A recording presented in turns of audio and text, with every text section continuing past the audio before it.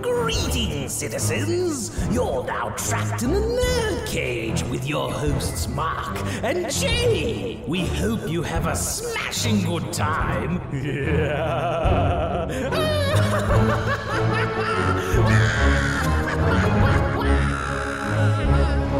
Yes, hello and welcome. That's right, you're trapped in Nerd Cage Live. This ain't just a reaction show, but a debate show and a live discussion on everything that makes people like you and I tick. So thank you for joining us tonight. I am your co-host, Jay St. G, coming to you live from Syracuse, New York, and always with me, my man, the Fiend from Louisville, Mark.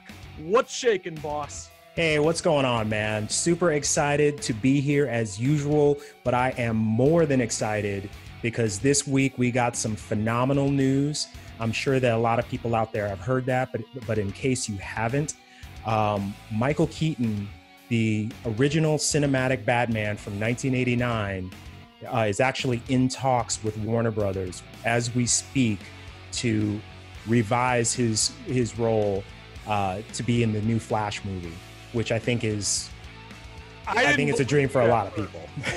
I did not believe you. I thought it was a joke. You messaged me. You were the first to tell me I was at work. You told me, and honest to God, I did not believe. I'm like, I'm like, oh come on, like.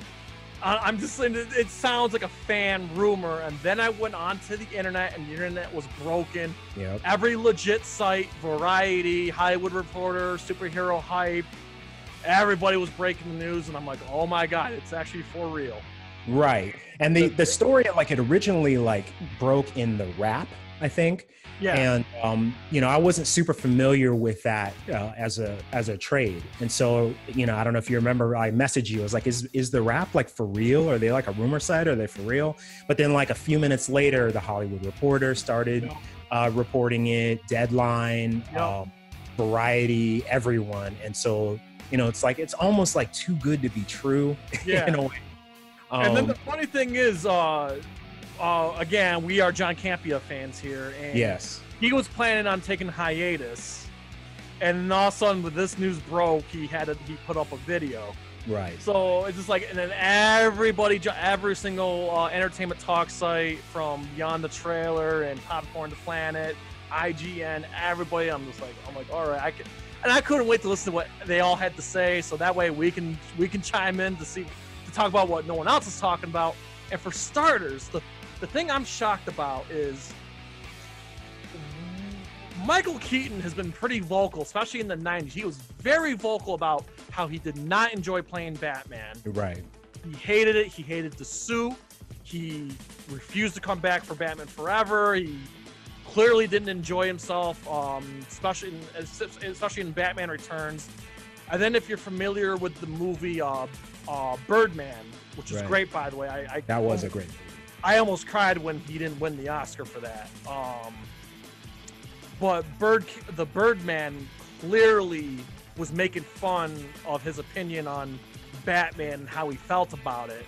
Right. And I'm just, and I'm just baffled that more than 30 years later, after all the stuff about what he said about the role and how how rough it was for him, and and now all of a sudden he wants to, that he's possibly in talks of coming back. Scratch, it makes me scratch my head a little bit.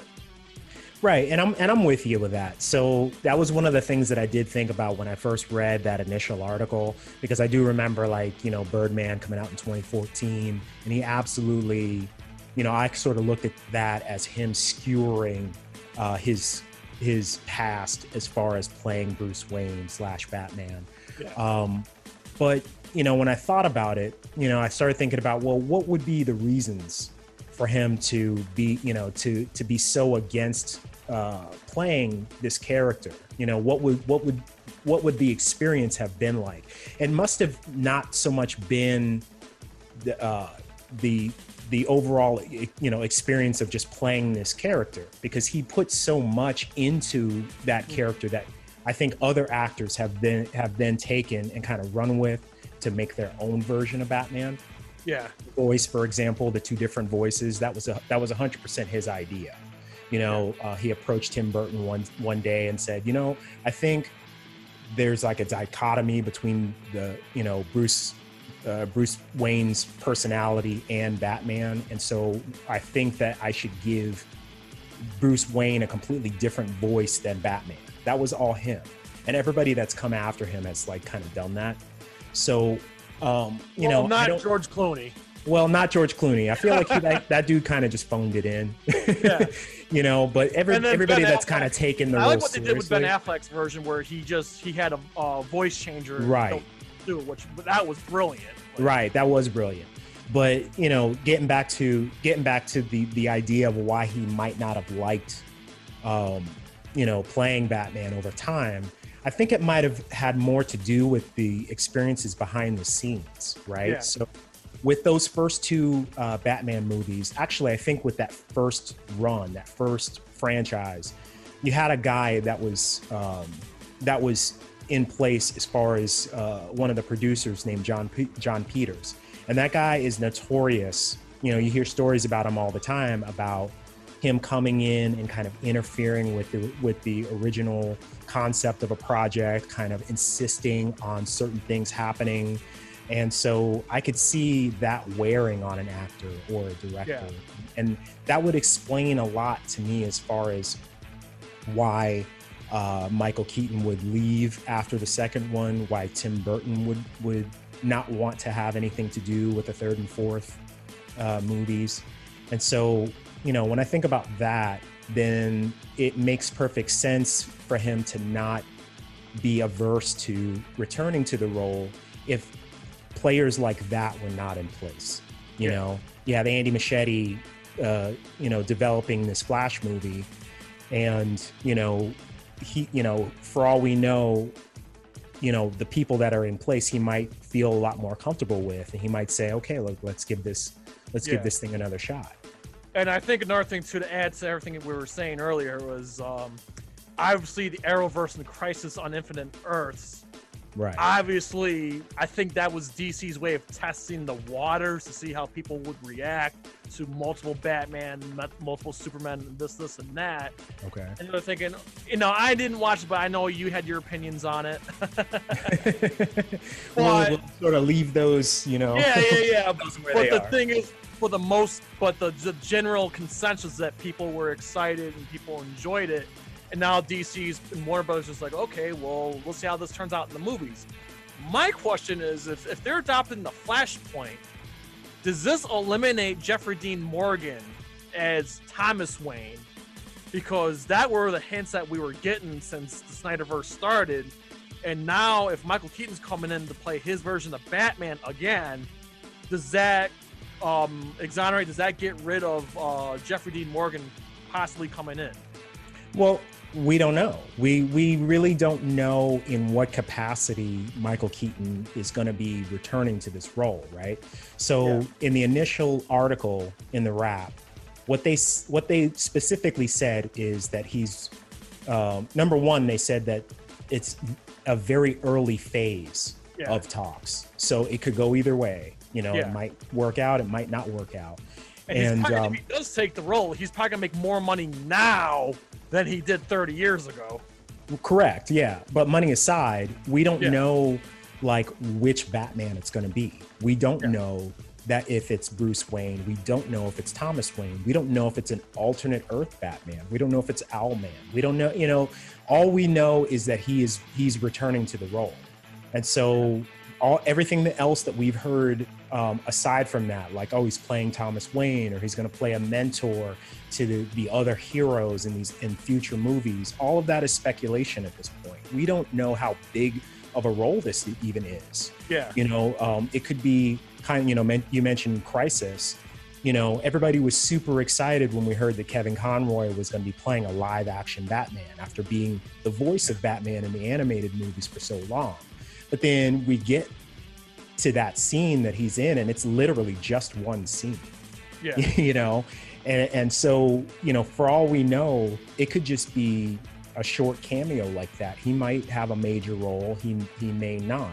And so until we hear until we hear more, it's kind of difficult to kind of speculate as far as, you know, what it means for Flashpoint, you know, and what it means for possibly having uh, Jeffrey Dean Morgan in the mix personally, I'd, I'd love to see him as as Thomas Wayne. Oh, absolutely. Yeah, I think you know that's that's uh, it, it, talk about somebody. I think he's really a better out of the park. actor than just the Walking Dead guy. Oh yeah, yeah, and I, I was a huge fan. Well, I'm a little biased because I'm into kaiju and video games, but man, in Rampage he was really good. right. Very, very underrated movie. Um, Sure. But yeah, he's he's done good work, and I think as far as Thomas Wayne goes, I think he nailed it out of the park. He's perfect for it. Sure. I mean, I mean, Zack Snyder was. I know it was brief, but Zack Snyder was onto something when he picked him for that very brief uh, intro for Batman versus Superman. right. Do you think that he had Flashpoint in mind when when he did the casting? Maybe. I uh, I, I want to say yes because I mean before the, I think they had a, a huge um, story arc in, in in place at the time. Right. So and and obviously fan demand is high. So Sure. Yeah, Now, the- huge fan service, right? So, Absolutely. Now here's what's really funny is um obviously the internet being the internet. Um the funniest thing I saw was the Oprah meme. Um where Oprah was like, everybody gets a Batman. Cause we got cause we got Ben Affleck, you know, doing Justice League, the Snyder cut, and then we Right. have Rob Pattinson, and now the possibility of a um Michael Keaton. Now, my main Right. question is: This is the one thing that no one's talking about. Do you remember uh, when they first announced the Joaquin Phoenix Joker right. and the way Jared Leto reacted to that news and how Mhm. angry and upset he was?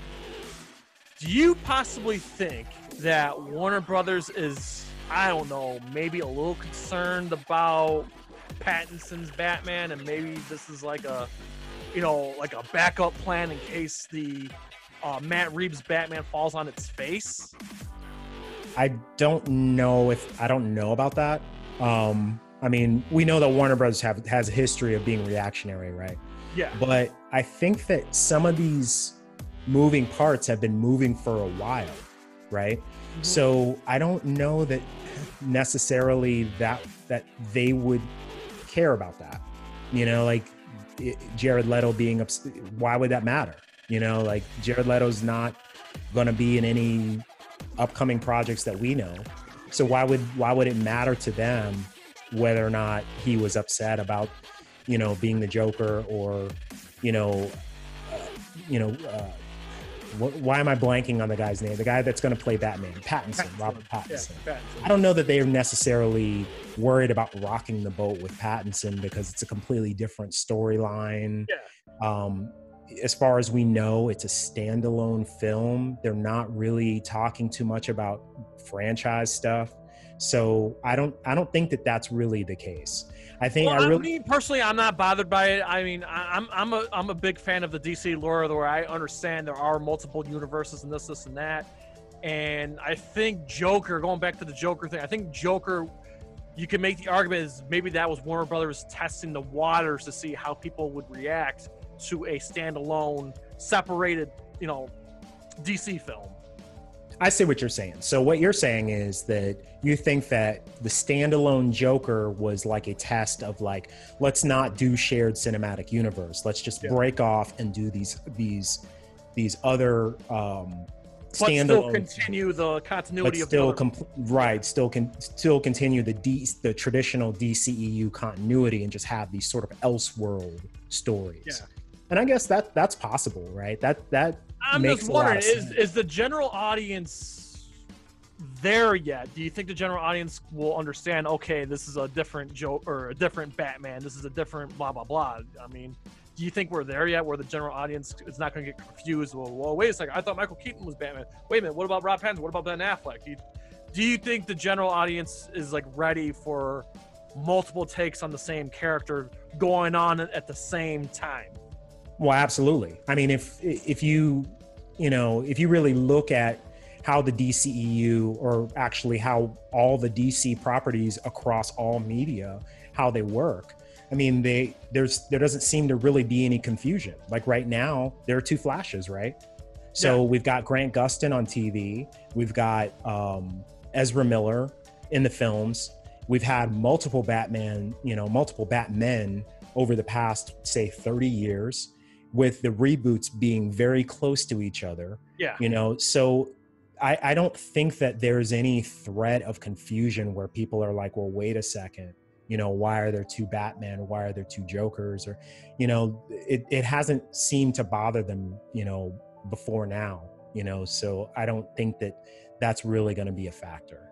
I think what they're really trying to do is is build, you know, trying to repair, you know, as best they can some of the some of the flops that they've had and Yeah. try to get their bearing as far as the traditional DCEU. But I think at the same time they're trying to build on the success of the standalone Joker, right? So you have, you know, a film that's not necessarily a, a traditional comic book movie, sort of transcendent of that.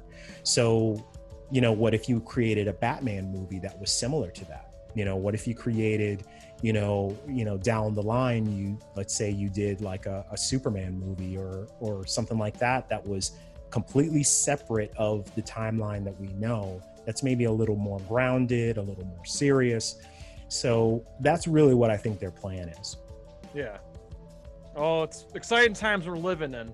Absolutely. Um, now, what's interesting about um, going to an easy transition here is the rumors that we're hearing is that I know we you touched base on it earlier, but I also read somewhere that the that this version, this Michael Keaton Batman, is in fact the Tim Burton Batman 30 years later, ignoring the Schumacher films, which we have to get into now. Is um, this week we did receive the sad news of um, uh, Joel Schumacher passed away at the age of 80. right.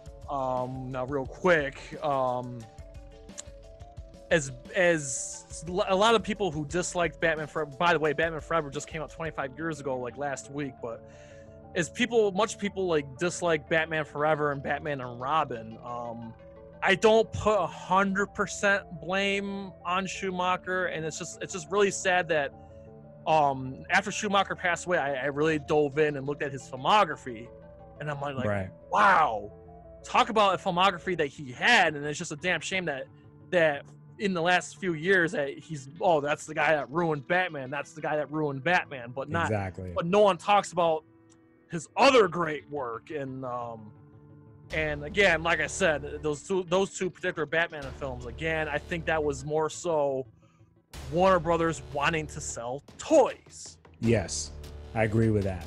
So, you know, and and I'm glad that you bring that up because I think that I'm, I'm probably one of the few people that that does recognize that, right? So, you know, whenever we hear the name Joel Schumacher, the very first thing that we hear is, oh, Batman and Robin, this guy like totally ruined our great franchise. You know what I mean? And I'm no fan of that movie. Like, I think that, you know, I think it's probably one of the worst, if not the worst, comic book movie to to ever come out.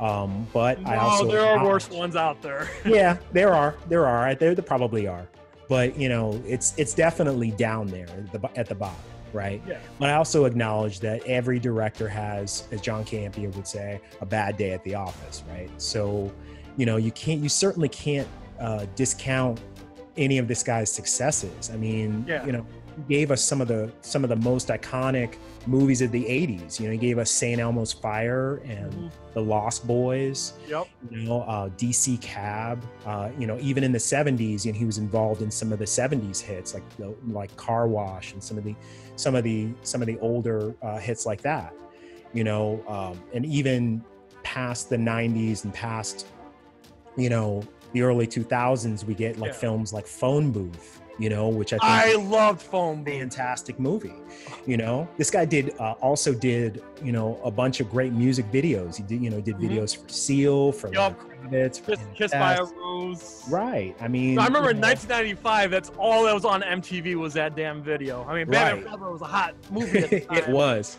you know and that, partially that because of that video, Yeah, but yeah, like I said, that music video was all over MTV. Uh, Right.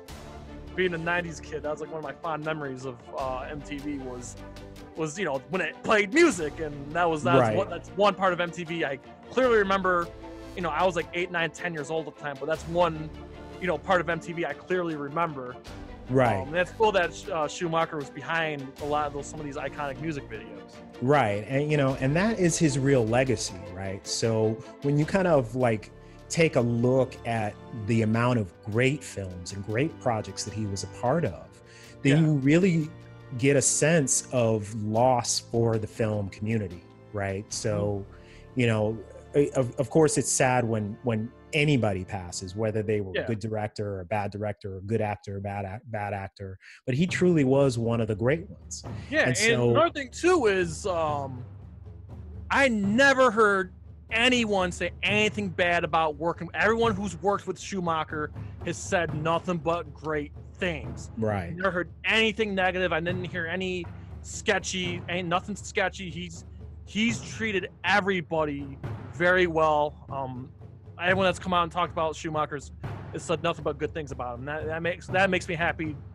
to hear that. You know, he wasn't difficult to work with. He, you know, he didn't he didn't do anything you know sketchy or anything like that. He's actually a, uh, a genuine person to work with, and you know, he tried. And you know, like I said, not every movie was a hit, but he tried his best. You know. right you know i mean he you know for you know as far as as far as you know you know 80s and 90s hollywood and even early 2000s hollywood i mean he more often than not knocked it out of the park i mean he Oh yeah. was one of the he was one of the great directors of his time and he will definitely uh, be missed i, I think I'm gonna give you three movies that, um, again, there are three movies that I haven't seen, but there's, but from the movies I've seen, I'm gonna pick my three personal favorite. Starting with Phantom of the Opera. Um, it's very, very rare. I'm not a musical guy. Uh, Right. I mean, there are exceptions out there, Grease and a few couple others, but for the most part, I'm not into musicals. But I loved Schumacher's take on Phantom of the Opera. I thought he knocked it out of the park. There were some moments where I cried. He captured he captured the live show, captured the emotion. Um, visually, I thought it was fantastic. I, I put that as one of my uh, favorites. Number two, uh, probably. Now listen, I don't know how this film would go over nowadays, uh, but the movie Falling Down with uh, Michael. oh yeah wow yeah i love that movie Whew. Talk about a disturbing movie. Uh, Borderline comical, but very disturbing. And what goes on in that movie, again, I don't think would fly in today's culture, but watch that movie. and then for my number one pick, um, A Time to Kill with Matthew McConaughey and Sam Jackson. he did that one i wasn't Yes. aware wow Yes. that and is- Matthew McConaughey credits Joel, Mo- Joel Schumacher to launching his career. right Those who have not seen this movie, I say to you this: you probably heard of it at some point. Dave Chappelle made it famous with the Sam Jackson beer skit. yes, they deserve to die, and I hope they burn in hell. I, now, listen, I, I saw the Dave Chappelle skit long before I watched that movie. right right And I'm watching that movie, and when, when that line came out of Sam Jackson's mouth in the courtroom, I bursted out laughing. I'm like, that's where that came from. so you didn't realize that that's where that that No! came from at the time? I did not realize that. Oh wow. again, I saw that movie after the, you know, the Chappelle shit was what was. I was in high school when that came out, so I right didn't, I didn't see see that movie slipped past me, and I finally watched it not that long ago. I maybe saw it maybe like maybe four or five years ago. okay And and like I said, I wasn't ready for it. But as soon as that part in the courtroom came, and you know Sam Jackson's getting interrogated by uh, Kevin Spacey's character there, and he's just like, and he's like, yes, he deserves to die. And I'm just like, wait, wait, what? Right. That, that's okay. Where that's where that came from. So yeah and uh, and, and I have to, but that's, it's, I mean, outside that one moment that where you know, of course, you're gonna laugh because Chappelle, Chappelle made it more famous. But outside that one part of the movie, it's a very emotional driven, very disturbing movie, and it's done so well. Um, gotta be one of McConaughey's best performances. It really is. right Um, and again, I didn't realize Schumacher directed that movie till, you know, just the other day. You know.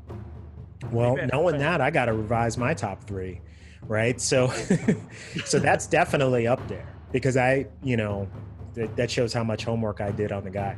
So yeah, so I had no idea that he did that, and that actually is, you know, a, a favorite of mine. You know, I've, I've seen that. Well, I watched it when it first came out in the theater, and then you know, over the years when it's been on cable, and you know, when I come across it on TV, I'll stop and I'll watch it again. So that's definitely one.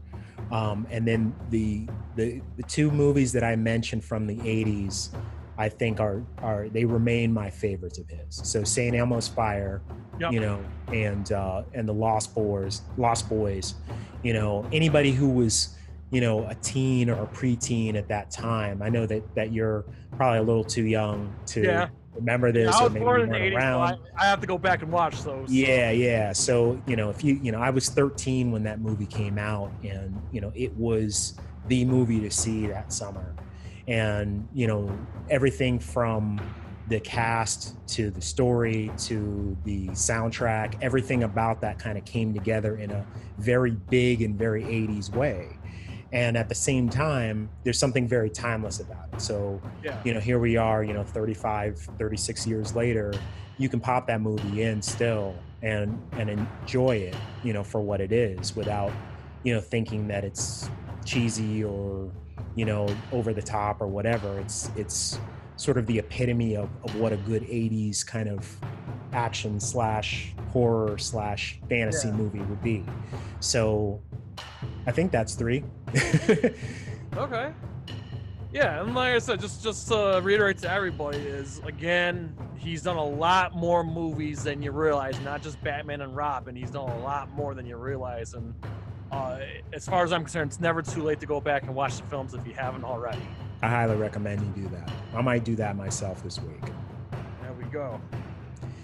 So, speaking of, uh, you know, kicking back and watching, you know, movies and, and watching TV and stuff like that, um, you and I have been talking about uh, season two of Doom Patrol. Mm-hmm. And, uh, you know, for those who don't realize, uh, season two of, of this show uh, premiered a few days ago on HBO Max and DC Universe. Yep. I'm a huge fan of the show. I've been watching it uh, since it premiered. Oh, And even before that, uh, growing up, I was a fan of the comics. So I feel a certain way about this series in general. And I feel a certain way about season two. But before I kind of get into that, I kind of wanted to uh, kind of see what you thought of it. Um, no, I got through one episode on Thursday night um, when it premiered, and um, I mean, I may have made the mistake. I mean, I watched Doom Patrol from start to finish, and but the thing is, I, I probably should have at least rewatched it or at least watched a recap. Um, it it just seemed. I think. I'm not gonna lie. I really wasn't blown away by the uh, first uh, season premiere. Right. Um, again, some of some of the decisions on the show, for example, um, I'm a huge Cyborg fan, but I just feel I, I still feel that Cyborg is out of place in the show. Um, I really felt he would be more appropriate in the Titans. Now, this is the same universe as Titans. I feel Right. like it would. I mean, we already have a robotic character. I don't know why we have to have two robotic characters. I just I'm just scratching my head a little bit. Um, I mean, it's still uh, it's still a fascinating watch though because it's very adult oriented. It's very uh, it's very dark and somber, and uh, um, the chief's daughter definitely adds new element to the show, but it's still um, I think it was a kind of a slow launch for to start. Right. You know, and, and I kind of agree with that. So I'm a huge fan of season one. I mean, I was in from the first scene or the first Yup. episode. and Um, did you it- and you watched the Titans episode that had Doom Patrol in it? that introduced them Okay, and yeah. which by the way you know i'm not a tremendous fan of the show titans but that particular episode i loved and that's what kind of got me excited for the show so when i started Yeah. watching the show i got hooked on it right away i was very excited uh, to watch uh, this season and i've gotten uh, maybe three episodes in and i have to say it's just it's not doing it for me there's there's a lot missing in my opinion Yeah. I was thinking about this earlier today. Like, why does the pacing of this and the energy of this uh, season feel so different? And I think I can, um, I think it boils down to the tone, the overall tone of the of the season. You know, in season one, you know, the whole thing is narrated by the main. Yes. You know, Oh my god, you're right. I did not. That's that's one thing. Yeah, it doesn't have that that, that nar- narration. You're right. right? And he's noticeably absent here. Now, I I, I know that they defeated him at the end of of season one, and I'm not going to give any spoilers as far as where he is now, but um, but but his absence kind of um, strips the show of some energy, you know, and it kind of makes it less a lot less interesting to watch, you know. Um, I'm not big on the the main character for this season. I, just in general, I just don't think he's like a very interesting, um, you know, uh, character to kind of, you know, he's not a very interesting nemesis in general. It just kind of seems kind of silly, you know. And I know that that the show, the the point of the show is that, you know, it's it's embracing the silliness of the comic, right? It's Yeah. embracing the the sort of satire of superhero fare, right? But there's just something about this particular um, villain, this particular rogue, that I'm just like, it's it's not that interesting yet. Hopefully, it gets better in subsequent ep- episodes. But the one, the, the the one or two episodes that I've watched so far have just really not pulled me in the way that I expected. Yeah, I mean, we can only hope that the show gets better. Um, you know, it's it's still like I said, it's still a kind of a fascinating watch. And the thing, and then for those who are not into Doom Patrol or maybe they're not familiar with the, characters, that's okay. I think one of the big drawing points of the show is this is the show that got uh, Brendan Fraser out of retirement. Right. So if any of those who want, if any of those who have been wondering what Brendan Fraser's been up to or miss Brendan Fraser, should probably watch the show because I think he's one of the um, one of the big moving parts of the show.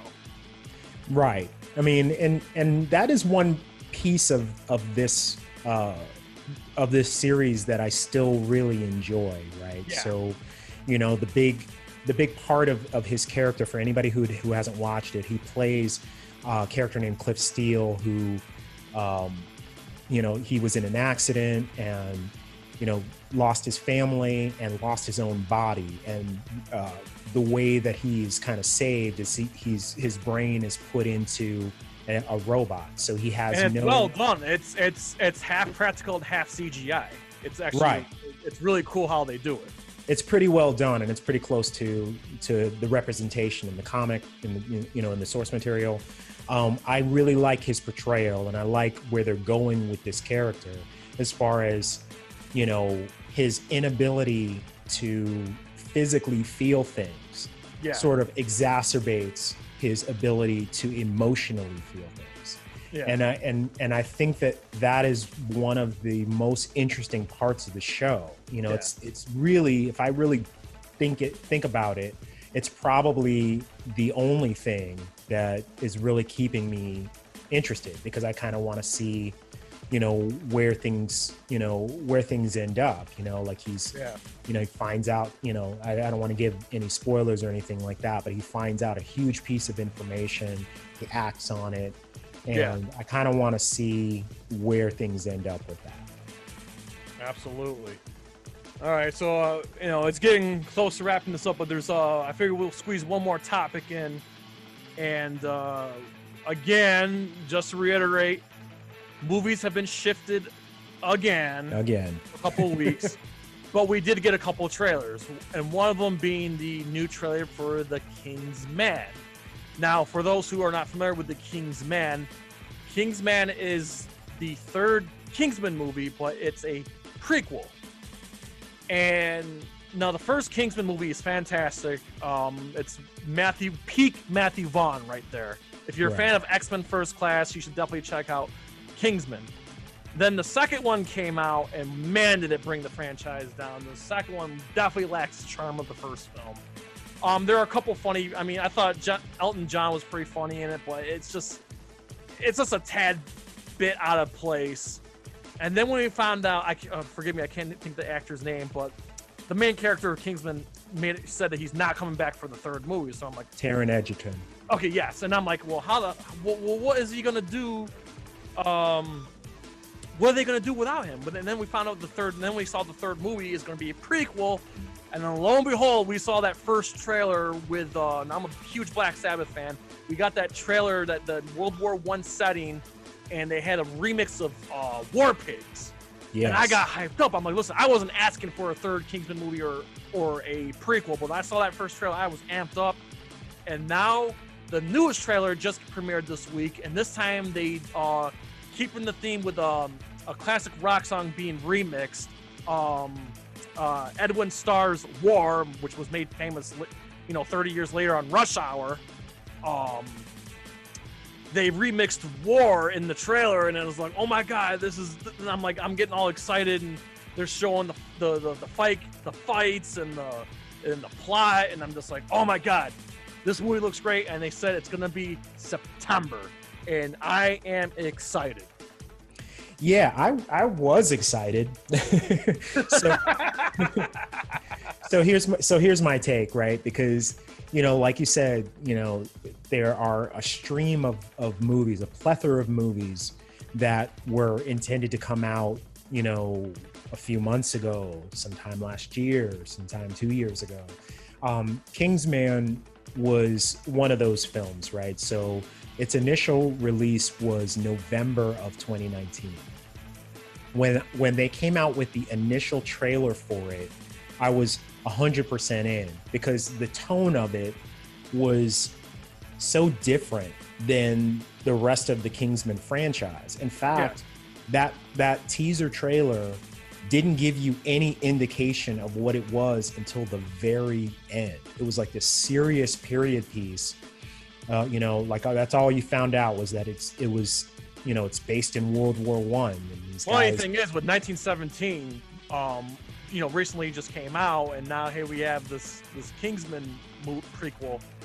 Yeah, I mean it's it's becoming right. It's be, it's becoming a pretty popular trope. Like even you know going back a couple of years with Wonder Woman, right? Yeah. It's, it's based in World War One, but that but that that initial trailer, it it just basically looked like a World War One epic, and it looked like something that was a little darker and a little more serious in tone. And then you don't find out until the very end that that last scene where they're right in front of the Kingsman tailor shop, and you're like, oh Yeah. wow, this is like an origin story. This is Yeah. I'm 100% in on this, right? So I was excited for it to come out at the end of last year. Then they came out with the second trailer. It kind of gave gave a little bit more uh, backstory, you know, introduced Rasputin. Uh, it still looked a little bit over the top, but I was like, okay, well, it's a Kingsman movie. The first one was over the top, but it was great Yeah. now this uh the more the most recent trailer it it's even more in my opinion it's even more campy than than the first two and it makes it feel like okay this is this is basically the golden circle but set in 1917 you know so is it going to be that film? I don't know. Mm-hmm. But you know I, it definitely made me less excited. It kind of like deflated my hopes for for the film. I mean i'm still gonna go watch it when it comes out but am i as amped about it as i was you know in fall of last year? Definitely not All right, all right. I I, I disagree, but I'm, I think part of me is just I think it's just because I'm so starved right now for new Sure. releases. I think we all can agree to that. But and again, the the the, the time from the very first trailer to the trailer we just got, it was it was months and months and months in between. So, I again I think this is I think this movie was just uh, just a reminder. Hey, there's a third Kingsman movie prequel coming out, and I guess it just I think I just kind of forgot about the first trailer, and then this one kind of got me excited again. No, I'm with you. I'm I'm with you on that. And like I said, I mean, these are kind of, you know, I guess you could say they're unfounded fears, right? So, you know, number one, you know, I still have a very bad taste in my mouth from the Golden Circle. I really did not like that film. Yeah, no, I you agree. know, th- that, and then if you think about, you know, the timeline of, you know, the Suicide Squad movie, you know, how the original trailer was very serious, very Mhm. dark, super Yeah. interesting. You gotta you gotta feel that this was going to be a, a special type of film, and then the second trailer came out and it was absolutely ridiculous, and then the film Yeah. turned out to be ridiculous, right? So, it, you know, and, and and I know that you kind of feel a different way about it, but I I really didn't like that movie very much.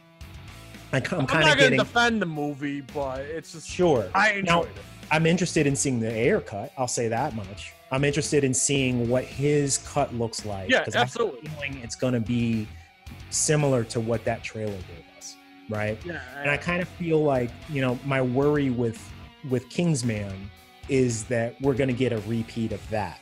So maybe there was a cut that was, you know, super um, grounded and and and and went a well, something just dawned on me. Kingsman was a 20th Century Fox movie, right. and then the Disney merger happened. that's right. I'm wondering because that that they filmed that movie long before the merger, so that so that does raise some questions. With now Disney having their hands on it, um, Well, I mean, just because just because uh, Disney has their hands on it doesn't necessarily mean they're going to make it family friendly or they're going to make it, you know, they're going to kind of censor it or anything like that. Yeah. It's not. It's not like it's part of the MCU. You know, Yeah. it's. I don't. I don't really think that. yeah, but remember the first as two a- movies were 20th 20th Century Fox. Sure. Um, so I'm I'm wondering like, is this new movie still gonna be in the tone? You know, and you know that not dark, but like, well, I'll, put it to you this way: the first the first two movies, especially the second one, were definitely not family friendly whatsoever, and. and if there's any of those elements in this third movie, like that would not fly by Disney. Just saying. Well, again, I mean, it's, I mean, you know, Disney has put out, uh, you know, content that isn't necessarily on par with with some of their family friendly properties, you Yeah. know, and and I think that, um, you know, with with properties like this one and like Deadpool and things like that, I think they're going to remain on brand. I think they're, I think that it makes That remains sense to be for them. seen. you know, yeah, yeah, I could be 100% wrong, but I think that, you know, if they're really looking at the numbers and looking at what makes those movies hit movies, you Yeah. know, it, it would be suicide for them to just kind of switch gears and be like, okay, well, we want to make it more PG so that like kids can go, you know, to these movies because number one, like small kids aren't identifying with these characters to begin with. There's Yeah. no Kingsman cartoon, right? There's no like toys of Eggsy or you know any of the other you know any of the other characters are in in that franchise so i don't really see them doing anything like that my worry is more that it's going to be a bad edit like they like they i have a feeling that they went back that they used this extra time to kind of go back to the drawing board and recut certain things and Yeah. change the tone of the film and i think if they do if they've done that then i think they do a disservice to to the to the franchise and what this prequel could be Yeah. i'm hoping that's not the case but in the back of my mind that's kind of what i think is going on Oh, we'll have to wait and see. Well, well, again, uh, they're saying September is what the trailer said, um, but that could change in a drop of a hat. As you know, everything going on in the world right now. My dog's waking up right now. um, there he goes. Okay, so I guess that's the sign. I think my dog waking up is the sign. hey wasn't he in call of the wild Yes, yes. Oh, whoa, that was Buck. This is live. right Okay, well, I I guess we'll wrap this up. So, uh, we uh, before we go, we ask you to pretty please like, comment, ring that bell, spread this shit like syphilis. So to you, I say, from Louisville to Syracuse to our friends and fans around the world at NerdCage Live, enjoy life, stay safe, and good night. sayonara Ooh, trying to get out of the nerd cage, are ya?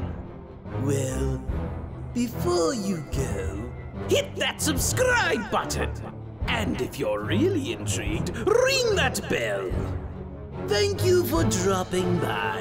Until next time, tell everyone you know about Nerdcage Live!